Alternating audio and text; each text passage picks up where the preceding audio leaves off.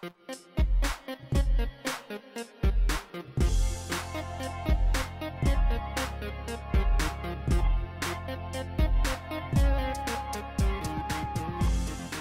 going on guys? Welcome to my tutorial on Adobe After Effects CS6. In this video I'm going to show you guys how to animate some text. So the first thing I'm going to do is take the text tool and I'm going to type in something. Let's just type in Adobeasy. Come over here to the left hand side and under text we have all sorts of animations here. I'm going to start off with organic and let me select the boomerang one.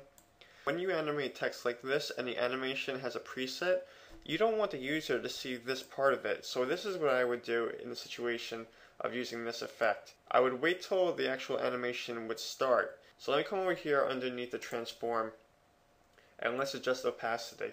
So I'm to put one keyframe over here and then and then the beginning here we're going to set this at zero.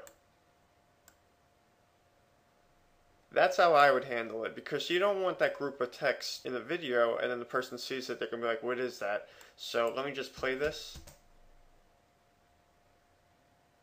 And that's a pretty cool effect. And if we want to get rid of it, I'm just going to select the animation here and just delete it. So we have our text back to normal. Here we have one called chewing gum. Let me add that. Wow.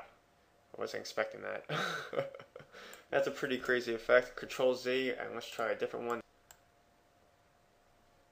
Let me just play this. Drop bounce. Yeah, it's a pretty cool effect. If you guys have any questions on how to do this, post a comment down below or go to my fan page and you can ask any question that you want.